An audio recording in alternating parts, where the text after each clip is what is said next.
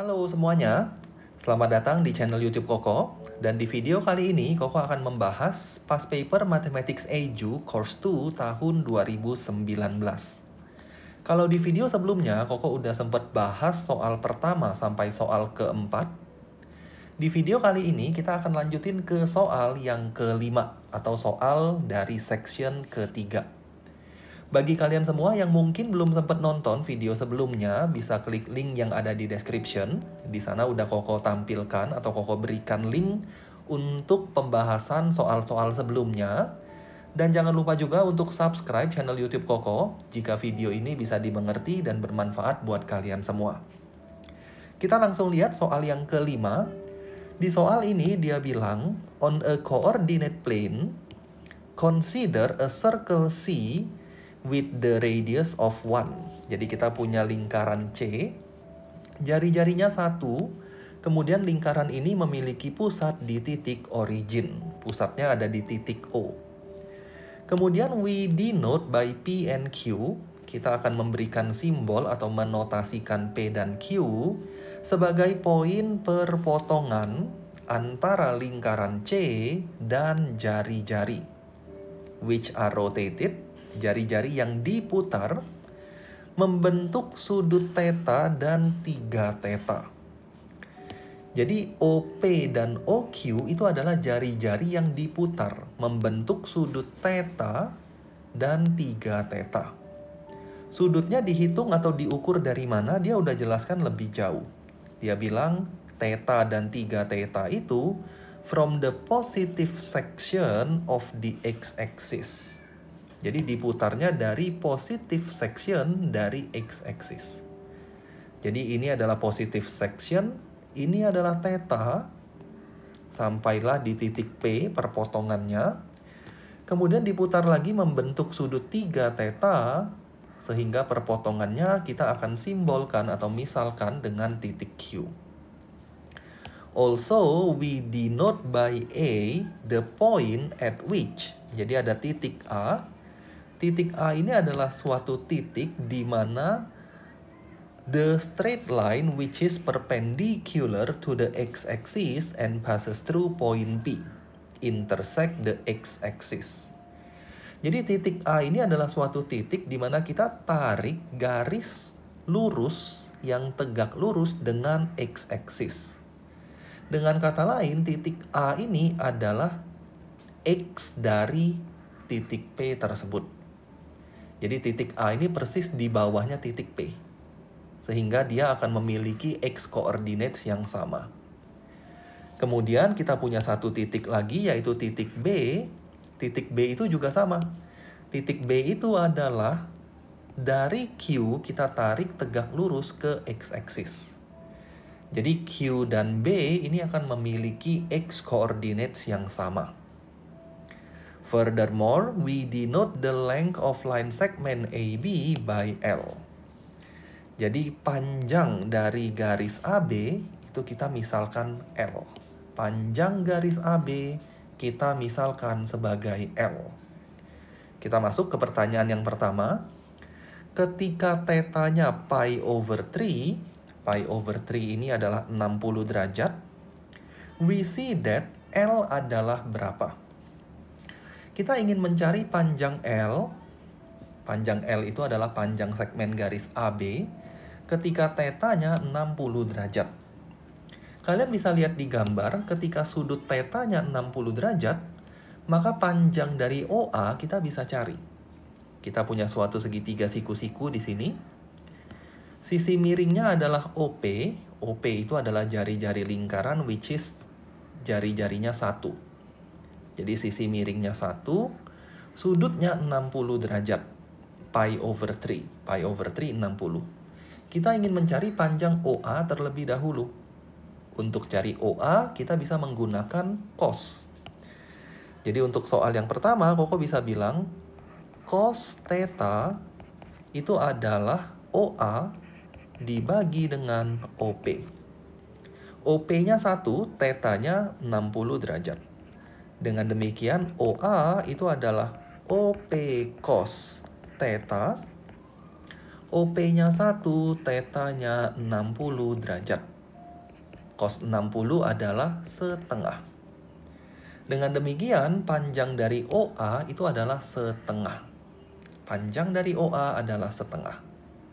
Yang kita ingin cari adalah L. L ini adalah panjang AB. Dengan demikian, kita harus cari lagi panjang OB itu berapa.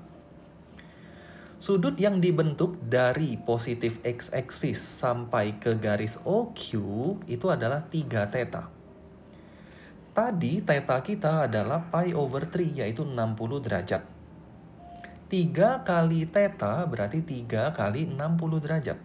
3 kali 60 itu adalah 180 derajat. Artinya, dari X positif sampai ke titik Q membentuk sudut 3 kali 60 yaitu 180. Jadi titik Q ini untuk kasus pertama ada di 180 derajat. Jadi kasus pertama kita Q-nya persis ada di sini.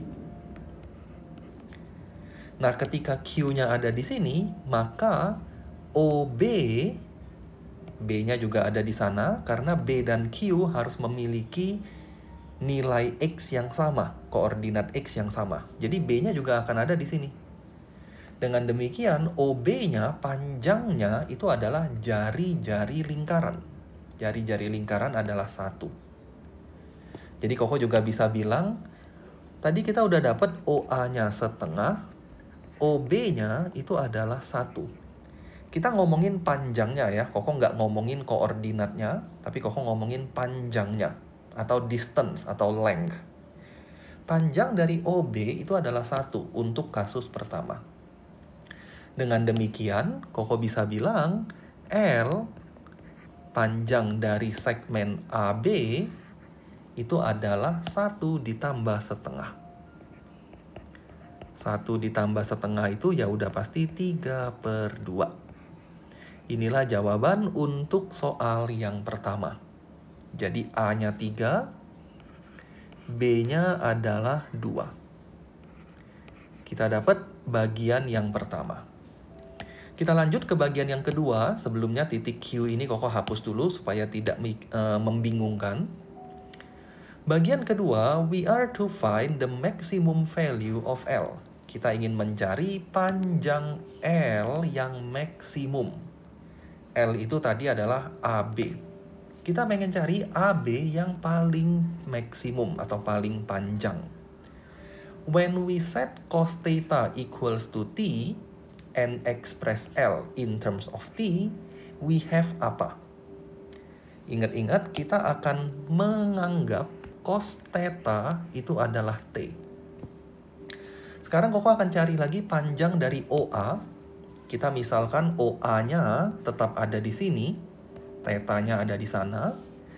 Dengan cara yang sama, kalian bisa lihat cara yang sama dengan poin pertama, Koko bisa bilang OA itu adalah OP cos theta. OA equals to OP cos theta. OP-nya adalah satu radius of a circle, cos theta. Dengan demikian, OA itu adalah cos theta. Cos theta-nya adalah T. Jadi OA-nya itu adalah T. Kita tahu panjang OA itu adalah T. Sedangkan OB-nya gimana? Kita akan lihat juga. Kalau kalian lihat segitiga siku-siku yang ada di sini, maka sudut yang dibentuk yang kecil ini itu adalah 180 dikurang 3 theta. Jadi sudut BOQ itu adalah 180 kurang 3 theta. Kemudian dengan melihat segitiga yang satu ini, Koko tebelin segitiga yang satu itu. Nah, kurang lebih segitiganya seperti itu. Kita bisa mencari panjang OB dengan cos juga. Koko misalin ini sudutnya alfa deh. Kita bisa bilang cos alfa itu adalah OB dibagi OQ. OQ-nya satu karena jari-jari lingkaran. Dengan demikian, OB itu adalah cos alfa. Alfanya 180 kurang 3 theta. Jadi OB itu adalah cos 180 minus 3 theta. Kalau kalian ingat-ingat sifat atau aturan trigonometri, cos 180 min 3 theta itu sama aja dengan min cos 3 theta. Cos 180 min 3 theta sama aja dengan min cos 3 theta. Koko nggak ulang lagi ini dapat dari mana ya. Jadi Koko asumsikan ini ke sana kalian harus tahu.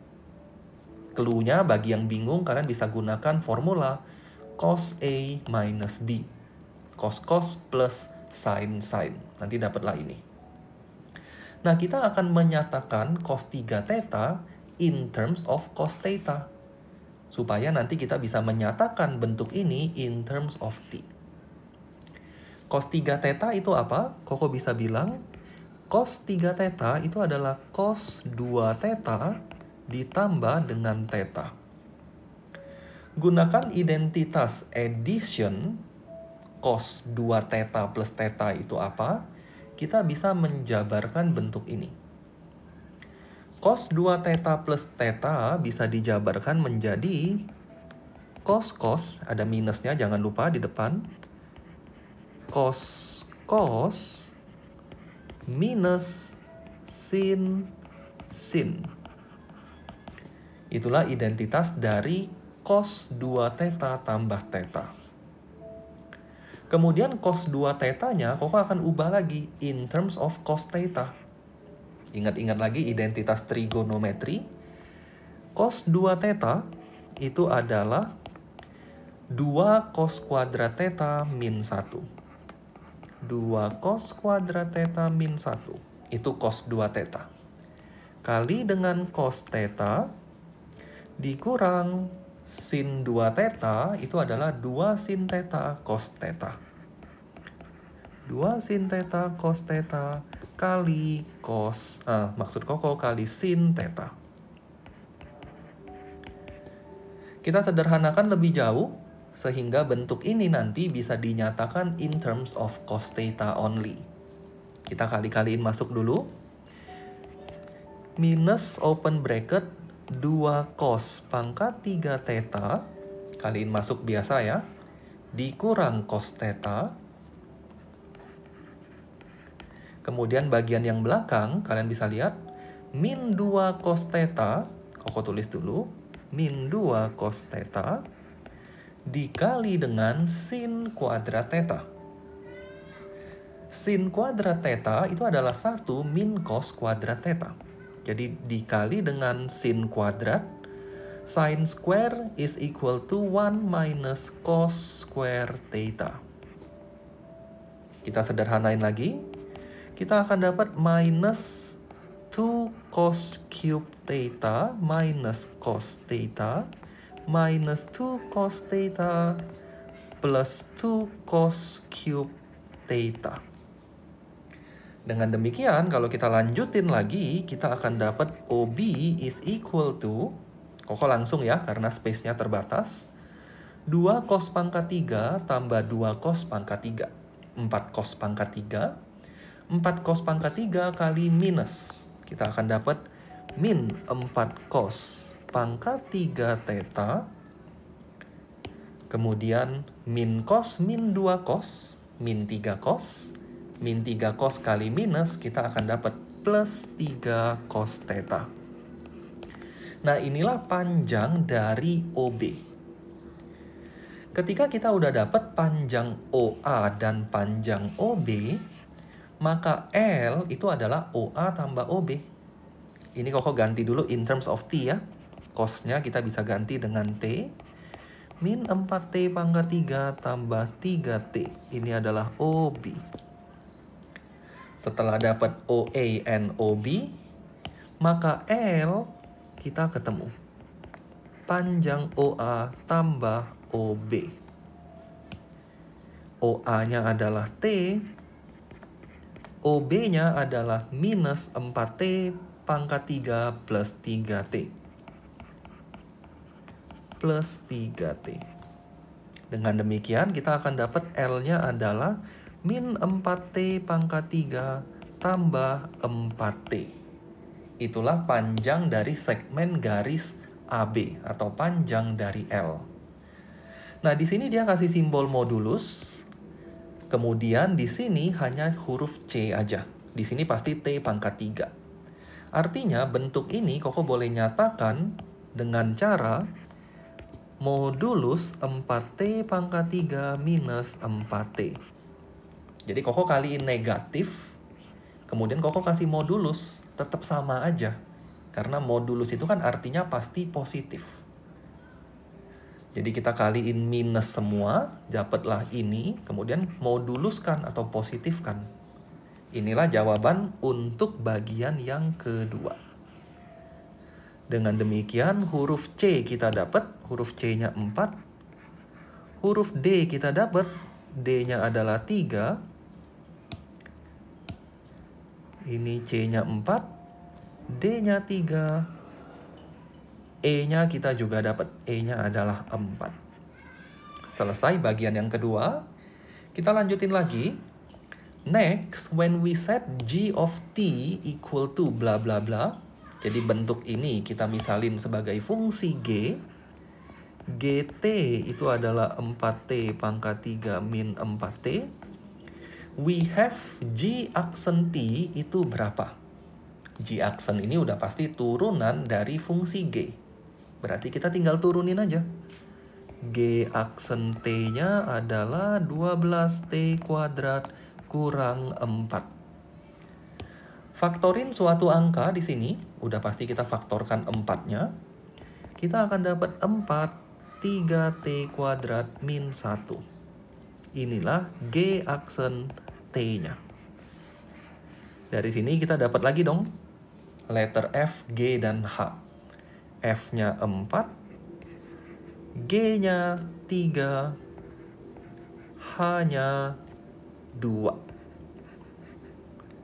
Setelah kita dapat G aksen T, dia bilang hence when cos theta itu berapa, L is maximize.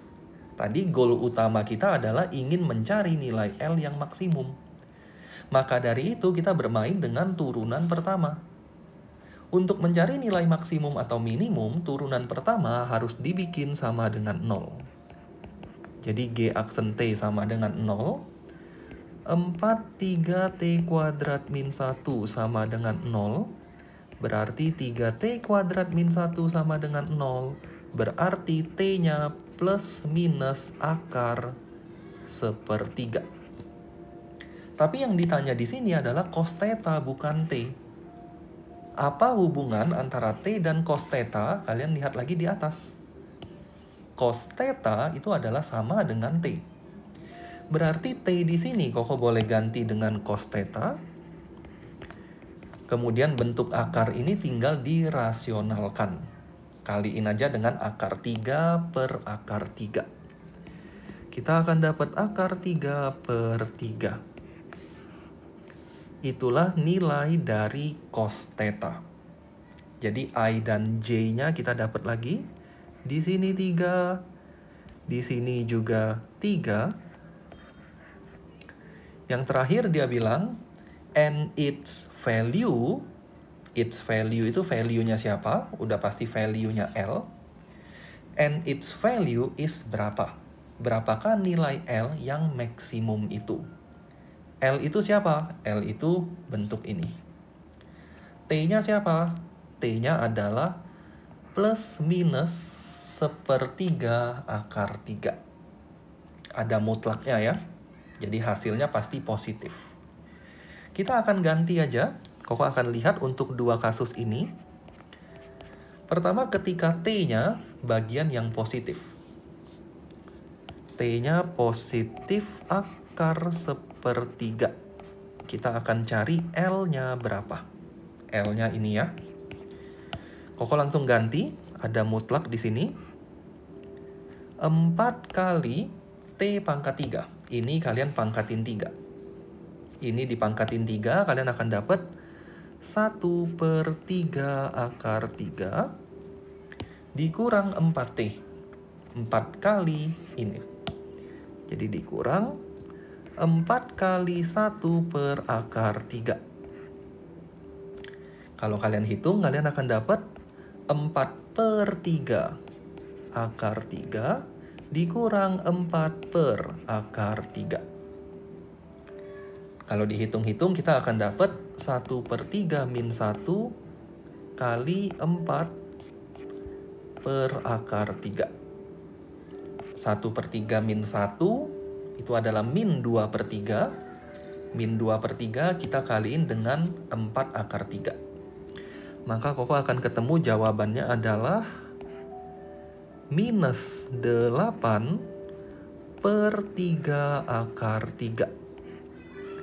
Nah, karena kita punya bentuk mengandung simbol mutlak atau modulus, maka minusnya diabaikan aja. Kita nggak perlu lihat minusnya. Dan kalau koko rasionalkan, kaliin akar 3 per akar 3, kalian akan dapat hasilnya adalah 8 per 9 akar 3. Itulah nilai L ketika T-nya plus akar sepertiga. Nah, sekarang Koko akan cari satu lagi ketika T-nya adalah minus akar sepertiga. Harusnya hasilnya sama, karena di sini cuma satu jawaban. Jadi kalau kita cari bagian minusnya, tebakan Koko hasilnya harusnya sama. Kalian tinggal hitung, 4 kali T pangkat 3, sekarang T-nya minus nih. Karena T-nya minus, kalau dipangkatin 3, minusnya masih ada. 1 per 3 akar 3 minus 4 kali T. T-nya negatif. Berarti ini akan berubah jadi positif 1 per akar 3. Nah ini kalian hitung sendiri ya hasilnya sama aja. Jadi mutlak 8 per 3 akar 3. Kalau disederhanain, kalian akan dapat jawaban yang sama dengan yang atas. Kok nggak tulis lagi ya? Dengan demikian, K, L, dan M-nya kita juga dapat.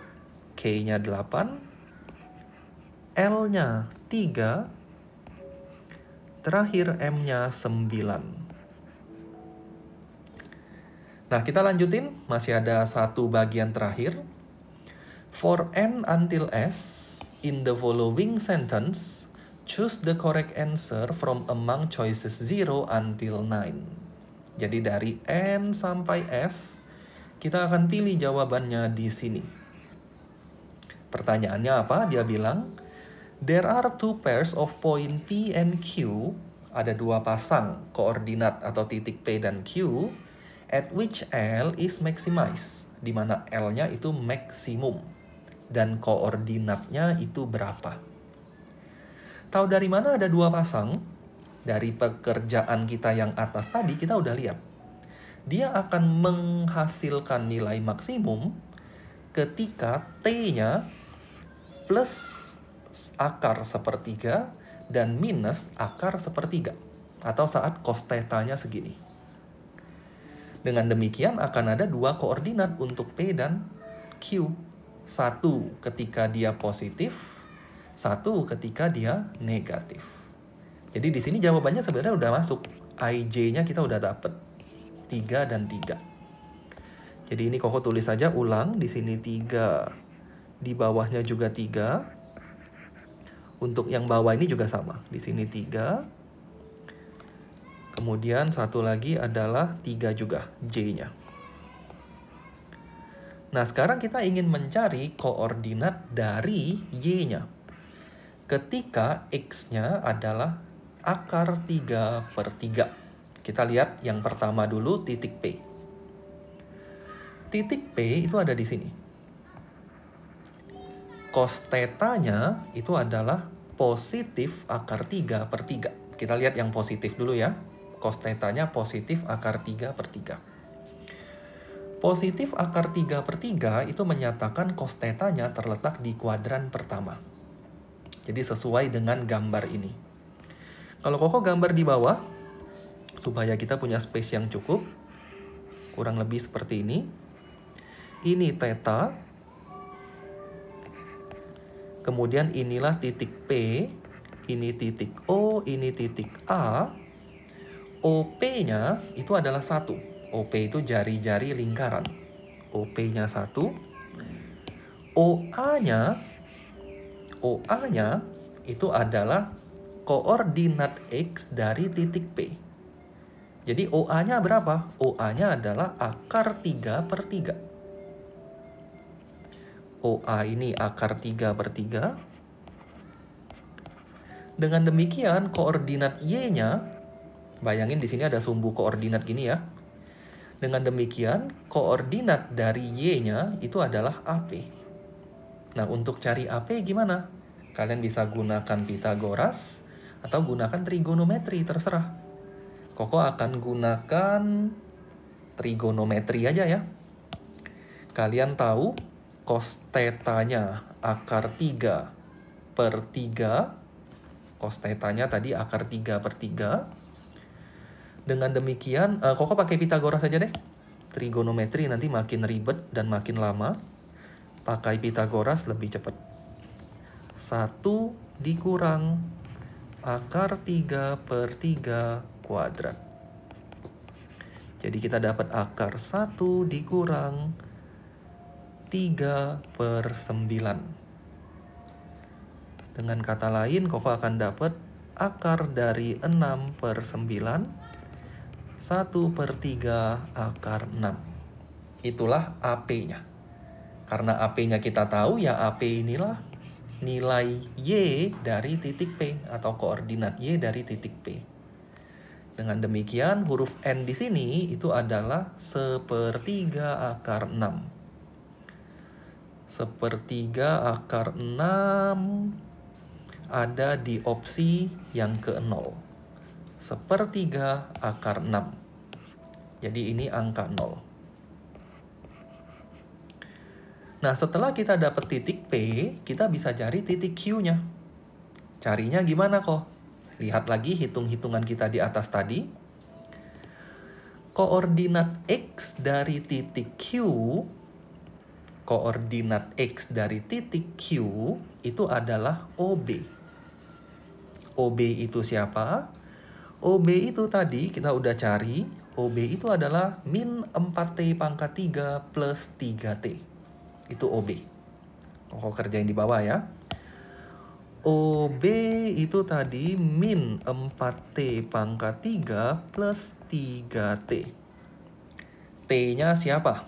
T-nya tadi akar 3 per 3 atau plus akar sepertiga. Ini sama aja ya, ini hanya dirasionalin aja. Jadi dua ini sama aja.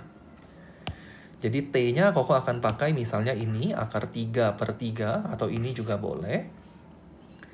Ketika T-nya kita ganti dengan akar 3 per 3 pangkat 3 ditambah 3 kali akar 3 per 3, kita akan dapat OB-nya. Tapi hati-hati, OB ini menyatakan panjang, belum koordinat. Ini baru menyatakan panjang. Kita hitung dulu. Min 4 kali 3 akar 3 per 27 tambah akar 3. Kalau Koko hitung, Koko akan dapat min 12 per 27 akar 3 tambah akar 3. Kalau disederhanain kita akan dapat 15 per 27 akar 3. Kita bagi 3 semua. Kita akan dapat 5 per 9 akar 3. Tapi ini menyatakan panjang.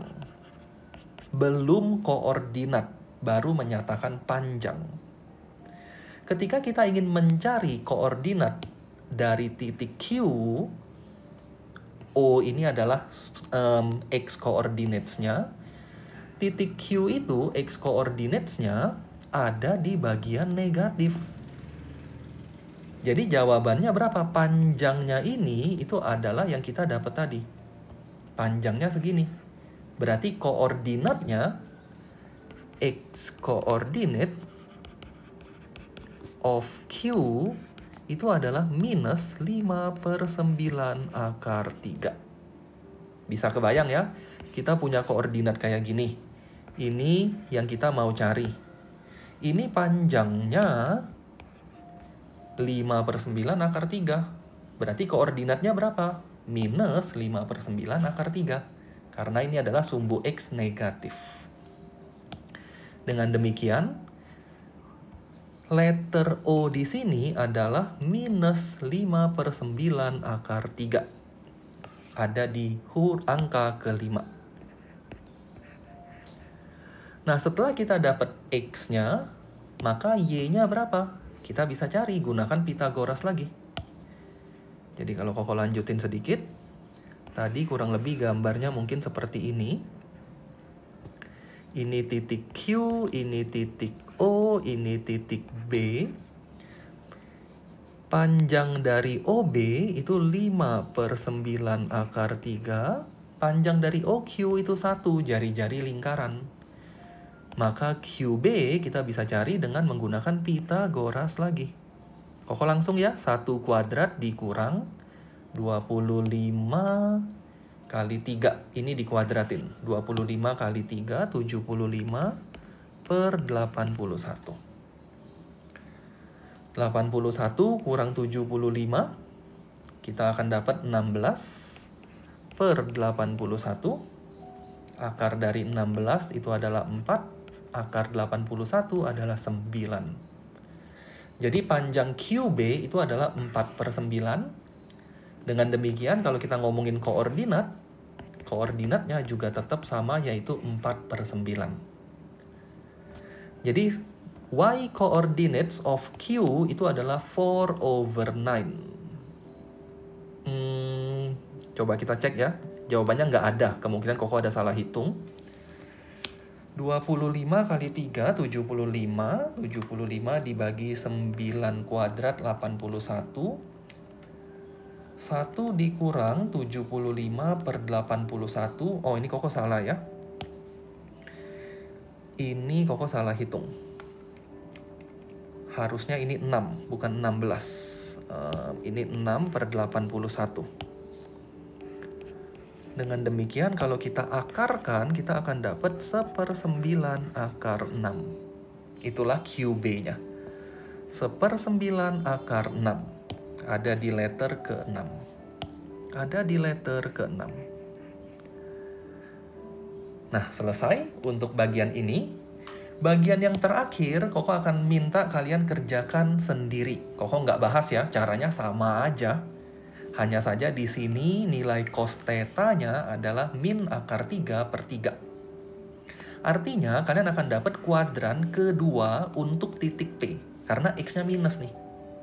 Jadi sebagai um, clue ini akan ada di second quadrant.